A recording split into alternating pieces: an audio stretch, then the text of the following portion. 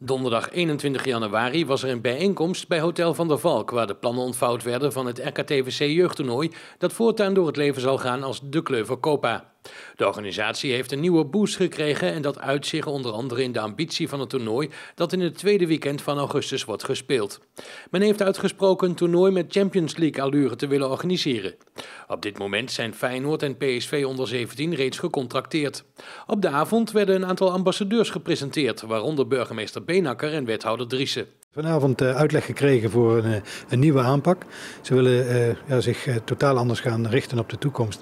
Waarbij ze de lat erg hoog hebben gelegd. Omdat ze eigenlijk willen gaan werken naar een toptoernooi. Waaraan voor, voor voetballers onder de 17 deelnemers uit heel Europa gaan komen. Die ook eigenlijk in de Champions League zitten.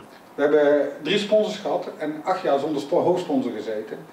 En dan krijg je op een gegeven moment dat het toch wat afzakt eigenlijk is dat niet echt TVC waardig, niet de koppa waardig. Dus hadden we zoiets van oké, we moeten nu omhoog en we moeten dus wat gaan doen. En dan komen de oude rotten tevoorschijn en die gaan aan de gang. Ja. Nou ken ik de jeugdtoernooien van Groningen, dat is inmiddels ter ziele. Terborg is natuurlijk heel groot, Copa Amsterdam. Hoe moet ik dit toernooi plaatsen in die, uh, in die reeks? Ik denk dat wij op, uh, voor onze leeftijd, onder 17, uh, denk ik wel het beste toernooi van Nederland zijn. Daarom hebben we ook denk ik bestaansrecht. Het enige verschil wat we nu willen gaan maken, is dat we uh, op Europees niveau willen gaan uh, acteren. Dus de, de clubs uit, uh, uit Europa, die ook in de Europa League spelen, moeten eigenlijk ook bij ons spelen. In Barcelona en AC Milan. Dat is de, de pad wat we uitgezet hebben voor vijf jaar. De avond werd aan elkaar gepraat door voetbalcommentator Evert Napel met als speciale gast Wim Kieft. Nee, ja, goed. Ik ben natuurlijk zelf ook jong geweest. Hè? Of zou je dat misschien uh, niet meer kunnen herinneren. Maar dit is wel... jeugdvoetbal vond ik natuurlijk zelf ook leuk. We hadden ook, ook altijd die toernooien. Belangrijk dus dat het blijft bestaan en op niveau ja, is. Ja, leuk. Maar het is ook niet... Het, het is natuurlijk met name... De tegenstand is natuurlijk heel erg belangrijk. Ja, die grote clubs willen natuurlijk alleen maar tegen, tegen andere grote clubs spelen.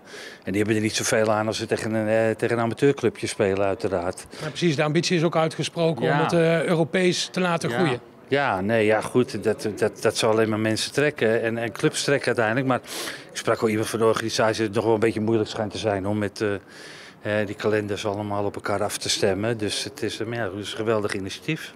Goede ontwikkeling dus. Ja, absoluut. Even over de avond, wat vond je er zelf van? Och, ja, ik bedoel, het is altijd gezellig om weer eventjes wat mensen toe te spreken. Hè? En even je, jezelf te promoten met name. En uh, het is natuurlijk, ik, ik doe dit wel vaker. En ik krijg er ook wel wat, wat, wat voor routine in. Maar ja, gewoon de persoonlijke dingen zijn natuurlijk de persoonlijke dingen. En die, die zijn altijd natuurlijk wel echt die zijn oprecht. En de voetbalanekdotes, ja, die, daar verander je wel eens wat in, weet je. Ja, natuurlijk. Als het maar, als, als, als het maar smeuig is. Ja, dat, probeert Maar wel een open verhaal. En in die zin is de, gesloten, de, de voetbalwereld gesloten.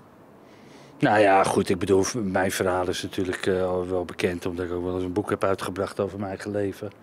Dus dat, uh, dat, dat hoef ik allemaal niet te verbergen. Dus dat, dat, dat tik je dan wel een beetje aan. Weet je, dat, dat breng je wel te sprake. Het moet niet zo zijn dat het alleen maar daarover gaat. Dan wordt het allemaal dat zware gelul natuurlijk. Maar je kan er natuurlijk niet omheen. Nee, maar wat, wat je ziet in zo'n zaal, het publiek, uh, zang ja. aan je lippen en het dwingt respect af.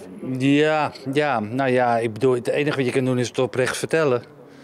En het, het, het, je moet het nooit mooier maken dan het is. Dat heb ik ook nooit gedaan. Dus het is ook helemaal niet een mooi verhaal. Het is, uh, het is een mooie carrière geweest. Daarna is het allemaal wat, wat, wat, wat, wat, wat minder mooi geworden. Hè? Triest. Op, een, op het persoonlijke vlak met name. En, uh, goed, dat, dat, ja, goed, daar kan je ook wel weer uitkomen. Dat maar het moet deugd doen dat mensen daar zo ja. op reageren. Ja, ja, mensen zijn altijd uh, weer, uh, ze vinden het mooi.